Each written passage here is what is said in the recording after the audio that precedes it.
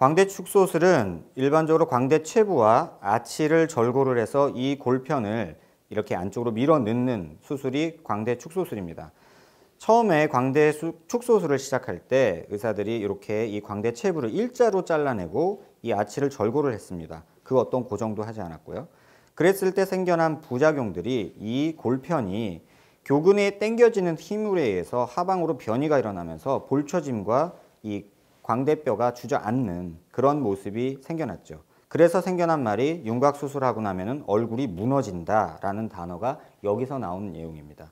그래서 그런 부작용들을 깨닫고 의사들이 여기에 L-쉐입 오스테오톰이라고 해서 이렇게 L자 모양으로 쉽게 말하면 뼈가 골편이 여기서 걸릴 수 있도록 이런 L-쉐입 오스테오톰이라는 단어를 썼죠.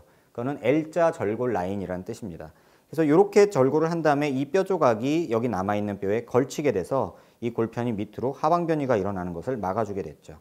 그 다음에 또 동양인의 이렇게 아주 큰 광대에 있어서는 이쪽의 체부의 골편을 이렇게 잘라내는 이런 작업을 하게 됐습니다.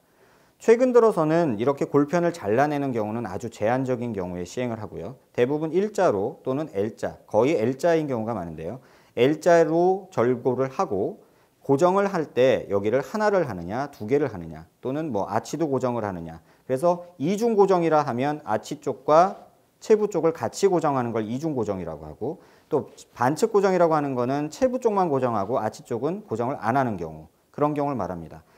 또 하나 최근에 이제 한 1, 2년 사이에 많이 이제 회자되고 있는 퀵광대라는 부분이 있는데요. 퀵광대라는 부분은 이 구렛나루 앞쪽이나 또는 두피를 절개를 통해서 이 광대뼈의 두께를 마치 회 썰듯이 이 뼈를 포 뜨듯이 한꺼풀 떼어내는 작업입니다.